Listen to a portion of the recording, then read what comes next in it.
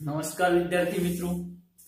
Corona મહામારી વચ્ચે સર્જાયેલ લોકડાઉનની પરિસ્થિતિમાં તક્ષશિલા વિદ્યાલય બાયડના ઓનલાઈન શિક્ષણ કાર્યમાં આપનું સ્વાગત છે. તો આજે આપણે મિત્રો ધોરણ 9 વિષય વિજ્ઞાનની અંદર પ્રકરણ 9 બળ તથા ગતિના નિયમોનું લેક્ચર 11 જોઈશું. તો લેક્ચર 11 માં આપણે ન્યૂટનની ગતિના બીજા નિયમ ઉપરથી કેટલાક ઉદાહરણ તારવવાનો પ્રયત્ન કરીશું. બરાબર? તો ન્યૂટનના ગતિનો બીજો નિયમ શું છે? તો જ્યારે પદાર્થ ઉપર કોઈ અસમતુલ્ય બરાબર? અસમતુલ્ય બાહ્ય બળ લાગે, તો તે અસમતુલ્ય બાહ્ય બળ પદાર્થના વેગમાનમાં થતા ફેરફારના સમપ્રમાણમાં હોય છે. અને તે ઉપરથી આપણે એક સૂત્ર તારવ્યું છે કે F બરાબર ma એટલે કે પદાર્થ ઉપર લાગતું અસમતુલ્ય બાહ્ય બળ તેના દળ અને પ્રવેગના ગુણનફળ જેટલું હોય છે. તો આજે આપણે એક દાખલો જોઈશું, જેની અંદર ચેપ્ટર 8 ના પણ કેટલાક સૂત્રોનો ઉપયોગ કરીશું અને ચેપ્ટર 9 ના પણ સૂત્રોનો ઉપયોગ કરીશું.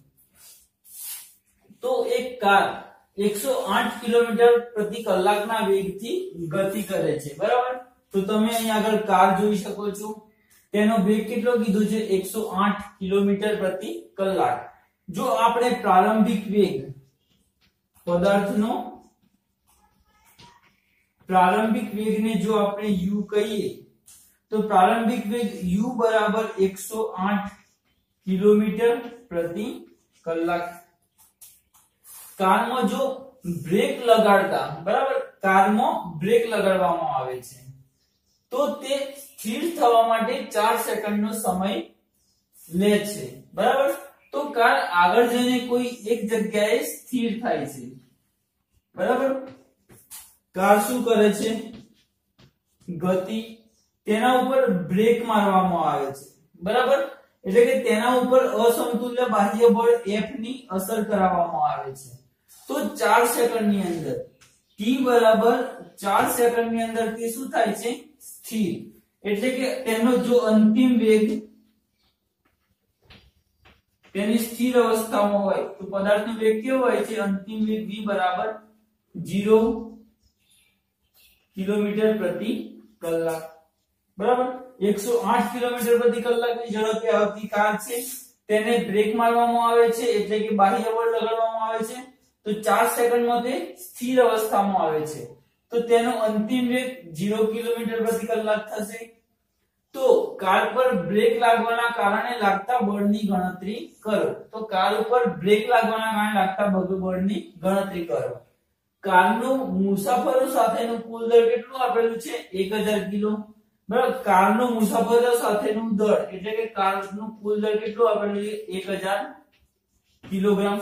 એટલે કે આપણે m બરાબર કેટલા લઈશું? 1000 કિલોગ્રામ.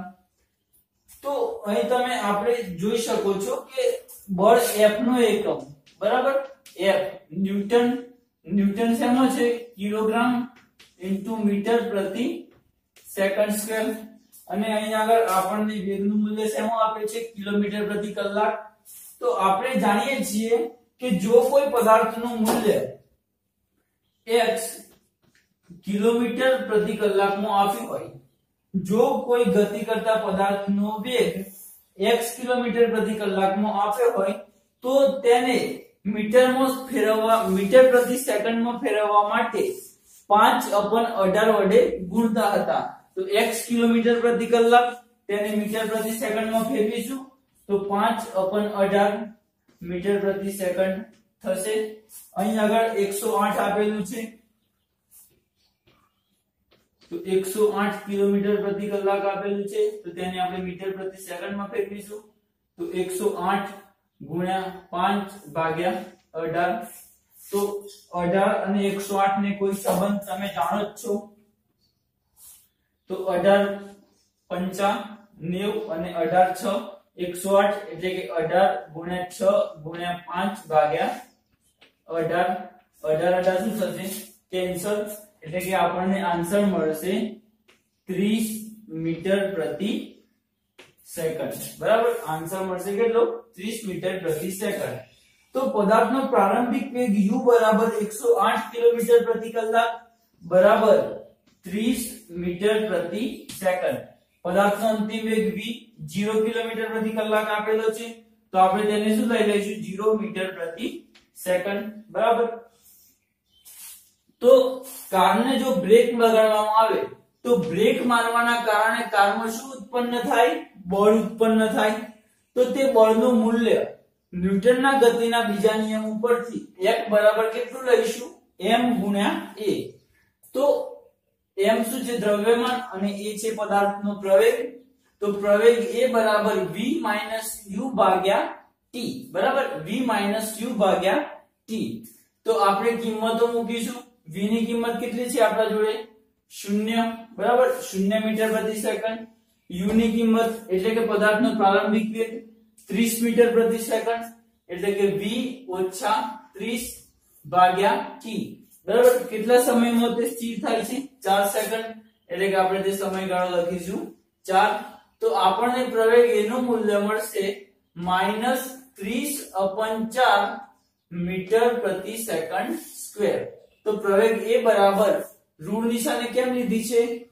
કારણ કે પ્રવેગ શેમાં ઉત્પન્ન થશે? ગતિની વિરુદ્ધ દિશામાં. બરાબર? એટલા માટે પ્રવેગ એ બરાબર -30 મીટર પ્રતિ સેકન્ડ સ્ક્વેર તો આપણે f બરાબર કિંમતો મૂકીશું. M ની કિંમત કેટલી થશે? 1000 બરાબર? M ની કિંમત 1000 ગુણ્યા a બરાબર -30 મીટર પ્રતિ સેકન્ડ સ્ક્વેર આ 1000 કિલોગ્રામમાં તો આપણને આન્સર મળશે 1000 ભાગ્યા 4 તો 1000 ના અવયવ પાડીશું 250 ગુણ્યા 4 ગુણ્યા -30 ભાગ્યા 4 4 4 કેન્સલ થશે. 250 ગુણ્યા 30 તો આપણને આન્સર મળશે 25 3 75 અને બાકી વધેલા શૂન્ય. અને ઋણ નિશાની, બરાબર? તો કિલોગ્રામ ઇન્ટુ મીટર પ્રતિ સેકન્ડ સ્ક્વેર તો જ્યારે કારને બ્રેક લગાડવામાં આવે, તો તેમાં શું ઉદ્ભવે? બળ ઉદ્ભવે. અને તે બળ ગતિની વિરુદ્ધ દિશામાં કામ કરતું હોય, એટલા માટે આપણે અહીંયા સ્થિતિ નિશાને લઈશું માઇનસ તો જ્યારે કારને બ્રેક લગાડવામાં આવે, તો તેના કારણે ઉત્પન્ન થતું બળ F બરાબર -7500 કિલોગ્રામ પ્રતિ મીટર ઇન્ટુ સેકન્ડ સ્ક્વેર એટલે કે માઇનસ 7500 ન્યૂટન. તો આ ઉપરથી મિત્રો તમે જાતે ઉદાહરણ લઈ, જાતે પોતાની સાયકલ કે બાઇક લઈ અને તેને બ્રેક મારીને આવા એક્ઝામ્પલની ગણતરી કરી શકો છો. કે જ્યારે તમે બ્રેક મારવાનું શરૂ કરો છો, ત્યારે તે કેટલી સેકન્ડની અંદર સ્થિર થાય છે, તેની ઝડપ કેટલી હોય છે, બરાબર?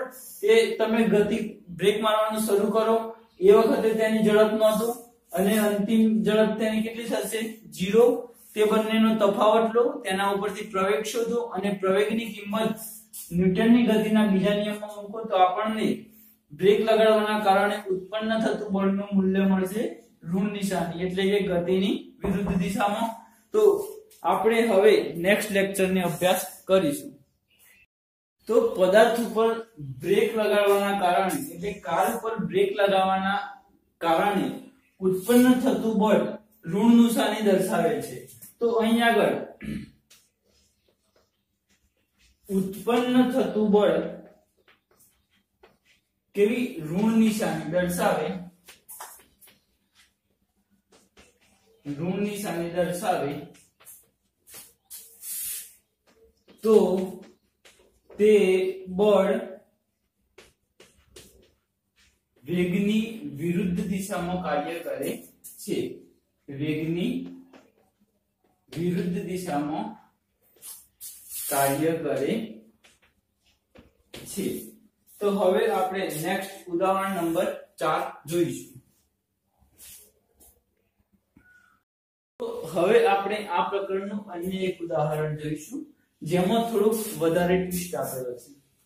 તો ઉદાહરણ 4 5 ન્યૂટનનું એક બળ કોઈ દ્રવ્યમાન m1 ને 10 મીટર પ્રતિ સેકન્ડ સ્ક્વેર નો પ્રવેગથી પ્રવેગિત કરે છે, બરાબર? તો એક બળ પદાર્થ એક ઉપર લગાવવામાં આવે છે, તેનું મૂલ્ય F બરાબર કેટલું છે? 5 ન્યૂટન, બરાબર? તો પદાર્થ એક ઉપર 5 ન્યૂટનનું જ્યારે બળ લગાડવામાં આવે છે, તો તે પદાર્થને 10 મીટર પ્રતિ સેકન્ડના પ્રવેગથી, બરાબર? 10 મીટર પ્રતિ સેકન્ડ સ્ક્વેરના પ્રવેગથી પ્રવેગિત કરે છે. તો F બરાબર આવશે 5 ન્યૂટન. A1 પ્રવેગ બરાબર 10 મીટર પ્રતિ સેકન્ડ સ્ક્વેરથી પ્રવેગિત કરે છે. તથા દ્રવ્યમાન m2 ને, બરાબર? આનું દ્રવ્યમાન દળ બરાબર આપણે શું લઈશું? M1 અને પદાર્થ 2 માટે દળ બરાબર m2 તો દ્રવ્યમાન m2 ને તે જ બળ, બરાબર? તેના પર પણ કેટલા મૂલ્યનું? તો F2 બરાબર 5 ન્યૂટન. તો તેટલા જ મૂલ્યનું બળ લગાડવામાં આવે તો તેના ઉપર પ્રવેગ એ બરાબર 20 મીટર પ્રતિ સેકન્ડ સ્ક્વેરનો પ્રવેગ પ્રાપ્ત થાય છે. તો જો બંને દ્રવ્યમાનોને ભેગા બાંધી દેવામાં આવે તો આ બળ દ્વારા કેટલો પ્રવેગ ઉત્પન્ન થાય? તો અહીં આગળ આપેલું છે F અને A. M આપેલું નથી, m અનનોન છે. તો આપણી જોડે સૂત્ર છે F બરાબર ma તેની અંદર આપણે m ને કરતા બનાવીશું. તો એ જશે F ની નીચે તો m બરાબર F બાય a થશે, કે જેને આપણે પેલી રીતે પણ લખી શકીએ છીએ. તો m1 માટે ગણીશું પહેલા દ્રવ્યમાન, પછી m2 માટે ગણીશું. તો પદાર્થ 1 માટે આપણે વાત કરીએ, તો પદાર્થ 1 માટે ન્યૂટનની ગતિના બીજા નિયમ ઉપરથી F1 બરાબર m1 a1 આપણે તેમાંથી દ્રવ્યમાન શોધવાનું હોવાથી દળ m1 ને આપણે કરતા બનાવીશું. તો m1 બરાબર a1 F1 ના છેદમાં આવશે, ગુણાકારમાંથી બરાબરની આ બાજુ ભાગાકારમાં આવશે. તો m1 બરાબર f1 ભાગ્યા a1 તો f ની કિંમત મૂકીશું આપણે 5 ન્યૂટન અને પ્રવેગની કિંમત મૂકીશું આપણે 10 મીટર પ્રતિ સેકન્ડ સ્ક્વેર. તો 5 2 10 તો આપણને જવાબ મળશે એક દૂત્યાંશ. એક દૂત્યાંશ બરાબર આપણે લખી શકીએ છીએ 0.5 કિલોગ્રામ. બરાબર? હવે દળ એમ વન. બરાબર? પદાર્થ એક માટે તેનું દળ કેટલું આવે? 0.5 કિલોગ્રામ. તે જ રીતે પદાર્થ બે માટે આપણે ન્યૂટનની ગતિના બીજા નિયમ ઉપરથી F2 બરાબર m2 a2 તો દળ m2 માટે આપણે m2 ને કરતા બનાવીશું. m2 બરાબર F2 a2 F2 બંને પદાર્થ માટે દળ, દળનું મૂલ્ય, બળનું મૂલ્ય કેવું છે? સમાન. તો આપણે અહીં F1 બરાબર F2 બરાબર F લઈ શકીએ છીએ. તો F બરાબર 5 ન્યૂટન સૂત્રની અંદર મૂકીશું. તો F2 બરાબર 5 અને A2 બરાબર 20 મીટર પ્રતિ સેકન્ડ સ્ક્વેર. તો 5 4 20 તો આપણને આન્સર મળશે 1 ચતુર્થાંશ કિલોગ્રામ અથવા તો 0.25 કિલોગ્રામ. એક ચતુર્થાંશ એટલે 0.25 તો એમ ટુ બરાબર આપણને કિંમત મળશે 0.25 કિલોગ્રામ. અને m1 બરાબર આપણને કિંમત મળશે 0.5 કિલોગ્રામ. બરાબર? તો આપણે તેના દળ સુધી લીધા, દ્રવ્યમાનો. હવે જો બંને દ્રવ્યમાનોને ભેગા બાંધી દેવામાં આવે, તો અહીં એવી વાત કરવામાં આવી છે કે બંને દ્રવ્યમાનો, એટલે કે દ્રવ્યમાન એક અને દ્રવ્યમાન બંને 2 બંનેને ભેગા બાંધી દેવામાં આવે અને તેમના ઉપર 5 ન્યૂટનનો બળ લગાડવામાં આવે. F બરાબર 5 ન્યૂટન. તો તે બળ દ્વારા ઉત્પન્ન થતો, તે બળ દ્વારા ઉત્પન્ન થતો પ્રવેગનું મૂલ્ય શોધો. હવે આ બંને બળને ભેગા બાંધવામાં આવે છે. તો તેમની અંદર દ્રવ્યમાન કેટલું થશે? તો બંનેના દ્રવ્યમાનના સરવાળા જેટલું તો m1 0.5 કિલોગ્રામ મળ્યું. M2 આપણને મળ્યું 0.25 કિલોગ્રામ. તો આપણે m બરાબર સંયુક્ત દ્રવ્યમાન m બરાબર m1 m2 0.5 0.25 તો આપણને સંયુક્ત દ્રવ્યમાન m બરાબર 0.75 કિલોગ્રામ મળશે. હવે આપણી જોડે સૂત્ર છે F બરાબર m ગુણ્યા a. ન્યૂટનની ગતિના બીજા નિયમ ઉપરથી બરાબર?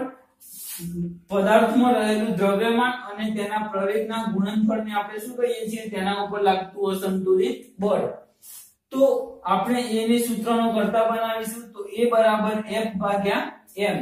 તેના ઉપર બળ કેટલું લગાડવામાં આવે છે? 5 ન્યૂટન. તે F ની કિંમત મૂકશું. 5 ન્યૂટન.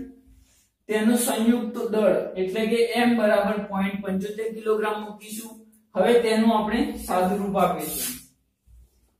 તો 5 ભાગ્યા 0.75 તો એને આપણે એમ લખી શકીએ છીએ કે 5 ભાગ્યા 75 અપન 100 બરાબર 0.75 ને આપણે પૂર્ણાંક સ્વરૂપ દ- પૂર્ણાંક સ્વરૂપે દશાંશમાંથી પંચોતેર ભાગ્યા સો તરીકે લખી શકીએ છીએ આપણે જાણીએ છીએ કે છેદનો છેદ ક્યાં આવશે?